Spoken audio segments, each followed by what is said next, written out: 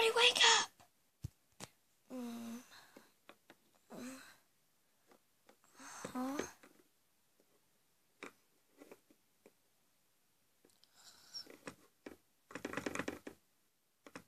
Hey. Hey. Gigi. Gigi. What? She's calling.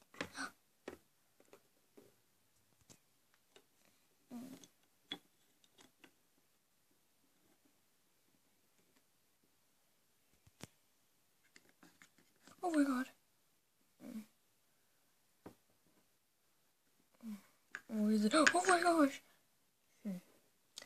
Everybody, get dressed. Or whoever's turn it is, get dressed. I don't have any clothes. No breakfast. Everybody stay in your rooms. I'm going to come and get you, and you're going to go into your classes.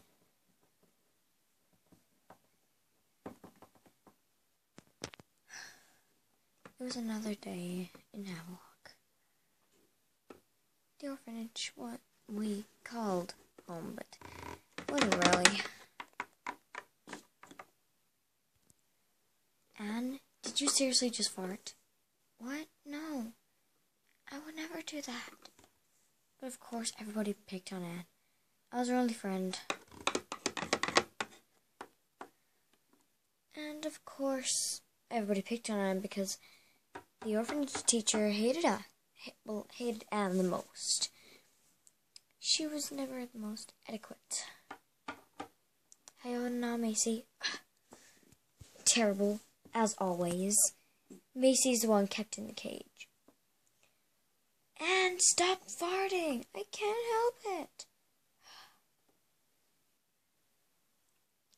It was because she disobeyed orders, and she tried to get out because she pleaded that her and her, and her little sister, and her little brother, well, they already had a mom, but she had captured her.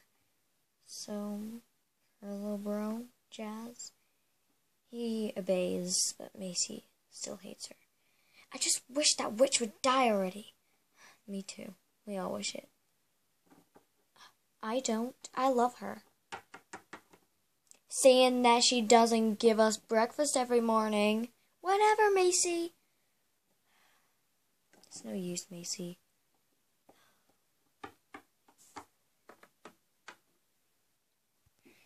Anyway, after the boring part, I'll tell you my name. My name is Jess. Jess Harn, Han, Harnsby. And well, I'll skip ahead to the um, deadly parts. I always just wander around because um, after a while I started finding notes from Anne. And I started saying that she tortures me. It was really scary for me. I don't know where Anne was. Anne was missing for a couple days. But then we found her. But she wasn't acting the same. She was quieter than usual. I know that she was always quiet, but she didn't speak. And, well, she always followed me. And sometimes she would say, The devil is near and worship him. I don't know what she was talking about, so I just ignored her. But one day, I found something. Something horrific.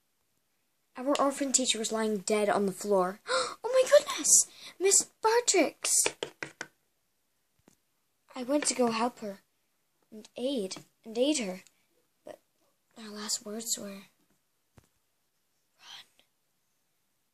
Run from her.